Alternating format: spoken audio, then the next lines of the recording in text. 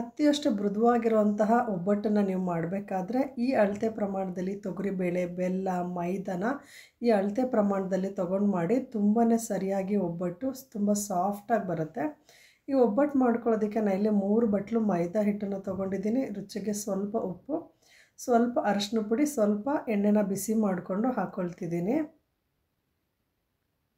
ಎಣ್ಣೆ ಹಾಕೊಂಡ್ಮೇಲೆ ಸ್ವಲ್ಪ ಸ್ವಲ್ಪನೇ ನೀರು ಹಾಕ್ಕೊಂಡು ಕಲಿಸ್ಕೊಳ್ಬೇಕು. ಒಂದು ಸಲ ನೀರು ಹಾಕ್ಕೊಳ್ತಾನೆ ಹಾಗೆ ಮಿಕ್ಸ್ ಮಾಡಿಕೊಂಡು. ಒಂದೇ ಸಲ ನೀವು ಹಿಟ್ಟಿಗೆ ನೀರು ಹಾಕ್ಕೊಳ್ಬಾರ್ದು ತುಂಬ ತೆಳುವಾಗುತ್ತೆ, ಇಲ್ಲ ಹಿಟ್ಟು ತುಂಬ ಗಟ್ಟಿಯಾಗುತ್ತೆ ಸ್ವಲ್ಪ ಸ್ವಲ್ಪನೇ ಹಾಕ್ಕೊಂಡು ಹದವಾಗಿ ಹಿಟ್ಟನ್ನು ಕಲಸಿ ಇಟ್ಕೋಬೇಕು ನೋಡಿ ನೀರು ನೀರು ಹಾಕಿದ ಪ್ರಮಾಣ ಸಾಕಾಗಿದೆ. ಇವಾಗ ಹಿಟ್ಟನ್ನು ಚೆನ್ನಾಗಿ ನಾದ್ಕೊಳ್ಳೋಣ, ಚೆನ್ನಾಗಿ ಹಿಟ್ಟನ್ನ ಈ ಥರ ಸ್ವಲ್ಪ ಮಧ್ಯ ಸ್ವಲ್ಪ ಎಣ್ಣೆ ಹಾಕ್ಕೊಂಡು ಚೆನ್ನಾಗಿ ನಾದ್ಕೊಳ್ಳೋದ್ರಿಂದ ತುಂಬ ಸಾಫ್ಟಾಗಿ ಬರುತ್ತೆ. ನೀವು ಎಷ್ಟು ಚೆನ್ನಾಗಿ ಹಿಟ್ಟನ್ನು ನಾದಿ ಕಲಸಿ ರೆಡಿ ಮಾಡಿ ಇಟ್ಕೊಳ್ತೀರೋ ಅಷ್ಟು ಚೆನ್ನಾಗಿ ಬರುತ್ತೆ. ನೀವು ಒಬ್ಬಟ್ಟು ಶುರು ಮಾಡೋಕ್ಕೆ ಮುಂಚೆನೇ ಈ ಮೈದಾ ಹಿಟ್ಟನ್ನು ಮ ಕಲಸಿಡುವಂತಹ ಕೆಲಸನ ಮಾಡಬೇಕು. ನಾವು ಬೇರೆ ಬೇಳೆ ಬೇಯಿಸ್ಕೊಳ್ಳೋ ಅಷ್ಟೊತ್ತಲ್ಲಿ ಹಿಟ್ಟು ಚೆನ್ನಾಗಿ ನೆಂದಿರುತ್ತೆ. ಮಿನಿಮಮ್ ಅಂದರೂ ಒಂದು, ಒಂದರಿಂದ ಎರಡು ಗಂಟೆನಾದರೂ ಇದು ನೆಂದಿರಬೇಕು. ಹಿಟ್ಟು ನೆನೆಯೋಷ್ಟೊತ್ತಿಗೆ ತೊಗರಿಬೇಳೆನ ಬೇಯಿಸ್ಕೊಳ್ಳೋಣ. ತೊಗರಿಬೇಳೆ ಬೇಯಿಸ್ಕೊಳ್ಳೋದಕ್ಕೆ ಎರಡು ಬಟ್ಲು ತೊಗರಿಬೇಳೆಗೆ ಈ ಪಾತ್ರೆಯಲ್ಲಿ ನಾನು ಅರ್ಧ ಪಾತ್ರೆ ನೀರನ್ನು ಹಾಕ್ಕೊಳ್ತಿದ್ದೀನಿ ನೀರು ಚೆನ್ನಾಗಿ ಬಿಸಿಯಾಗೋ ಅಷ್ಟೊತ್ತಿಗೆ ನಾನು ತೊಗರಿಬೇಳೆನ ಚೆನ್ನಾಗಿ ನೀರಿನಲ್ಲಿ ತೊಳ್ಕೊಳ್ತಿದ್ದೀನಿ.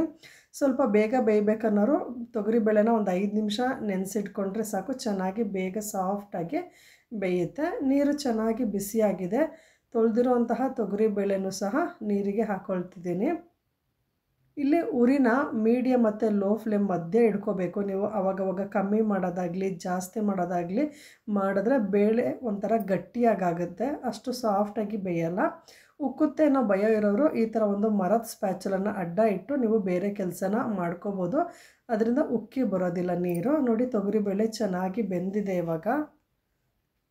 ಒಂದು ಬಸಿಯುವಂತಹ ಪಾತ್ರೆ ಇಟ್ಕೊಂಡು ಅದ್ರ ಕೆಳಗಡೆ ಒಂದು ಪಾತ್ರೆ ಇಟ್ಕೊಂಡು ನೀರು ಒಳಗಡೆ ಹೋಗೋದಕ್ಕೆ ಈ ಥರ ತೊಗರಿಬೇಳೆನ ಬಸ್ಕೊಳ್ಳೋಣ. ಸ್ವಲ್ಪ ಸಾಫ್ಟಾಗಿ ಬೇಯಿಸ್ಕೊಳ್ಬೇಕು ರುಬ್ಬೋಕ್ಕೂ ಈಸಿ ಆಗುತ್ತೆ, ಒಬ್ಬಿಟ್ಟು ಸಹ ತುಂಬಾ ಸ್ಮೂತಾಗಿ ಬರುತ್ತೆ.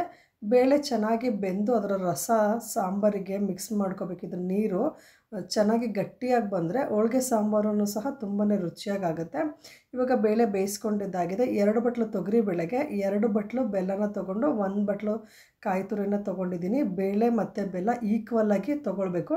ಮೈದಾನ ಒಂದು ಬಟ್ಲು ಜಾಸ್ತಿ ತೊಗೊಂಡು ಮೂರು ಬಟ್ಲು ತೊಗೊಂಡಿದ್ದೀನಿ, ಒಂದು ಬಟ್ಲು ಜಾಸ್ತಿ ತೊಗೊಂಡಿದ್ದೀನಿ. ಚೆನ್ನಾಗಿ ಮಿಕ್ಸ್ ಮಾಡಿ ಏಲಕ್ಕಿ ಕಾಯಿ ಇಲ್ಲ ಏಲಕ್ಕಿ ಪೌಡ್ರನ್ನು ಸಹ ಹಾಕಿ ಚೆನ್ನಾಗಿ ಕುದಿಸ್ಕೊಳ್ಬೇಕು. ನೀವು ಎಷ್ಟು ಕುದಿಸ್ಕೊಳ್ತಿರೋ ಅಷ್ಟು ಟೈಮು ನಿಮಗೆ ಒಬ್ಬಿಟ್ಟು ಕೆಡ್ದಲೇ ಇರುತ್ತೆ. ನೋಡಿ, ಈಗ ಚೆನ್ನಾಗಿ ಕುದ್ದಿದೆ. ಇದು ಸ್ವಲ್ಪ ಬಿಸಿ ಆರಿರಬೇಕು ಪೂರ್ತಿಯಾಗಿ ತಣ್ಣಗಾಗಿರಬಾರ್ದು. ಸ್ವಲ್ಪ ಬೆಚ್ಚಗಿದ್ದ ಹಾಗೇ ನೀವು ಇದನ್ನು ರುಬ್ಕೋಬೇಕು. ಗ್ರೈಂಡ್ರಲ್ಲಿ ಒಟ್ಟಿಗೆ ರುಬ್ಕೊಳ್ಬೋದು. ಇಲ್ಲಾಂದರೆ ಮಿಕ್ಸಿ ಜಾರಲ್ಲಿ ಸ್ವಲ್ಪ ಸ್ವಲ್ಪನೇ ಹಾಕಿ ರುಬ್ಕೊಳ್ಬೋದು. ನೋಡಿ, ಈ ಥರ ಹೂರ್ಣನ ಬೇಳೆ ರುಬ್ಕೊಂಡಿದ್ದ ಹೂರ್ಣ ನುಣ್ಣಗೆ ರುಬ್ಕೋಬೇಕು. ಎಲ್ಲ ಬೇಳೆನೂ ರುಬ್ಬಿ ಇಟ್ಕೊಂಡಿದ್ದೀನಿ. ಈ ಥರ ಹೂರ್ಣ ರೆಡಿ ಮಾಡಿ ಇಟ್ಕೊಂಡಿದ್ದೀನಿ. ಈ ಥರ ಒಂದು ಉಂಡೆನ ತಗೊಳ್ಳಿ. ಇಷ್ಟೇ ಪ್ರಮಾಣದಲ್ಲಿ ನೀವು ಮೈದಾನ ತೊಗೊಳ್ಬೇಕು. ಈಗ ಮೈದಾ ಇಟ್ಟು ಚೆನ್ನಾಗಿ ನೆಂದಿದೆ. ನೆಂದಿದೆಯೋ ಇಲ್ವೋ ಅಂತ ನೀವು ಗೊತ್ತಾಗಬೇಕಾದ್ರೆ ಮೈದಾನ ಹೀಗೆ ಕೈಯಲ್ಲಿ ಎಳೀರಿ. ಎಳ್ದಾಗ ಮಧ್ಯೆ ಕಟ್ಟಾಗಬಾರ್ದು. ಕಟ್ಟಾಗಿಲ್ಲ ಅಂದರೆ ಅದು ಚೆನ್ನಾಗಿ ನೆಂದಿಲ್ಲ. ಇನ್ನು ಸ್ವಲ್ಪ ಹೊತ್ತು ಬಿಡಬೇಕು ಅಂತ ನೋಡಿ ಎಲ್ಲೂ ಕಟ್ಟಾಗಿಲ್ಲ. ಹಾಗಾಗಿ ಮೈದಾ ಚೆನ್ನಾಗಿ ನೆಂದು ಒಬ್ಬಿಟ್ಟು ತಟ್ಟಕ್ಕೆ ರೆಡಿಯಾಗಿದೆ ಹೋಳ್ಗೆ ಪೇಪರಲ್ಲಿ ಸ್ವಲ್ಪ ಎಣ್ಣೆ ಹಾಕ್ಕೊಂಡು ಸ್ವಲ್ಪ ಮೈದಾ ಮೈದಾ ತೊಗೊಂಡಿರ್ತೀವಲ್ಲ ಅದೇ ಪ್ರಮಾಣದಲ್ಲಿ ಉಂಡೆನ ತೊಗೊಳ್ಬೇಕು. ಹೂರ್ಣದ ಉಂಡೆನ ತೊಗೊಂಡು ಪೂರ್ತಿಯಾಗಿ ಕವರ್ ಮಾಡ್ಕೊಳ್ತಾ ಬನ್ನಿ. ಎಕ್ಸ್ಟ್ರಾ ಇರೋದನ್ನು ತೆಗೆದುಬಿಡಿ. ಎರಡು ಪ್ರಮಾಣವೂ ಕರೆಕ್ಟಾಗಿದ್ದರೆ ಒಬ್ಬಟ್ಟು ತುಂಬ ಹದವಾಗಿ ಬರುತ್ತೆ. ನೋಡಿ, ನಿಧಾನಕ್ಕೆ ಎಣ್ಣೆಯಲ್ಲಿ ಕೈಯನ್ನು ಎತ್ಕೊಂಡು ನಿಧಾನಕ್ಕೆ ತೊಟ್ಕೊಳ್ತಾ ಬನ್ನಿ. ನೀವು ಎಷ್ಟು ತೆಳು ಬೇಕಾದರೂ ಈ ಹೋಳಿಗೆ ತಟ್ಟೋ ಪೇಪರನ್ನು ತಗೊಂಡ್ರೆ ಎಷ್ಟು ತೆಳುವಾಗಿ ಬೇಕಾದ್ರೂ ತಟ್ಕೊಳ್ಬೋದು. ಹೂರ್ಣ ಮೈದಾ ಹದವಾಗಿ ರೆಡಿಯಾಗಿರಬೇಕು ಅಷ್ಟೇ. ಅಂಚು ಬಿಸಿಯಾಗಿದೆ. ಈಗ ಹೋಳಿಗೆ ಪೇಪರನ್ನು ಹಾಕಿ ತೆಗೆದಿದ್ದೀನಿ ನೋಡಿ, ಸ್ವಲ್ಪನೂ ಅಂಟಿಲ್ಲ. ಬಿಸಿ ಬಿಸಿಯಾಗಿರೋಂತಹ ಸಾಫ್ಟಾಗಿರೋಂತಹ ಒಬ್ಬಟ್ಟು ರೆಡಿಯಾಗಿದೆ. ಎಲ್ಲ ಬೇಳೆ, ಬೆಲ್ಲ, ಮೈದಾನ ಒಂದೊಳ್ಳೆ ಪ್ರಮಾಣದಲ್ಲಿ ಕರೆಕ್ಟ್ ಪ್ರಮಾಣ. ಬೇಳೆ ಮತ್ತು ಬೆಲ್ಲನ ಸಮ ಪ್ರಮಾಣ ತೊಗೋಬೇಕು. ಮೈದಾನ ಸ್ವಲ್ಪ ಜಾಸ್ತಿ ತೊಗೋಬೇಕು. ಎರಡು ಬಟ್ಲು ತೊಗರಿ ಬೇಳೆಗೆ, ಎರಡು ಬಟ್ಲು ಬೆಲ್ಲ ತೊಗೊಂಡಿದ್ದೀನಿ, ಮೂರು ಬಟ್ಲು ಮೈದಾ ತೊಗೋಬೇಕು. ತೆಂಗಿನಕಾಯಿ ತುರಿ ಒಂದು ಬಟ್ಲು ತೊಗೊಂಡಿದ್ದೀನಿ. ಅದು ಬೇಕಿದ್ರೆ ನೀವು ಹೆಚ್ಚು ಕಮ್ಮಿ ಮಾಡ್ಕೊಳ್ಬೋದು. ನೋಡಿ, ಬಿಸಿ ಬಿಸಿ ಆಗಿರುವಂತಹ ಒಬ್ಬಟ್ಟು ತುಪ್ಪದ ಜೊತೆ ತಿನ್ನೋದಕ್ಕೆ ತುಂಬಾ ಚೆನ್ನಾಗಿರುತ್ತೆ. ಇದಕ್ಕೆ ತೆಂಗಿನಕಾಯ್ದು ಕಾಯಿ ಹಾಲು ಮಾಡ್ತಾರೆ. ಅದನ್ನು ಸಹ ತುಂಬಾ ಚೆನ್ನಾಗಿರುತ್ತೆ. ಹಬ್ಬದ ದಿನಗಳಲ್ಲಿ ಒಬ್ಬಟ್ಟು ಒಂದೊಳ್ಳೆ ವಿಶೇಷವಾದ ರೆಸಿಪಿ.